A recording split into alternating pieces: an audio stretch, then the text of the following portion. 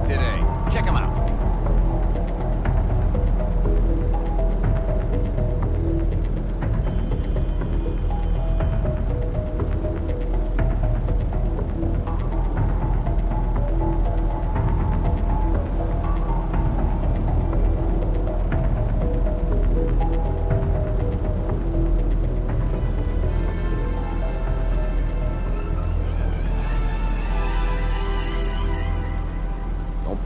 Asking for my sources.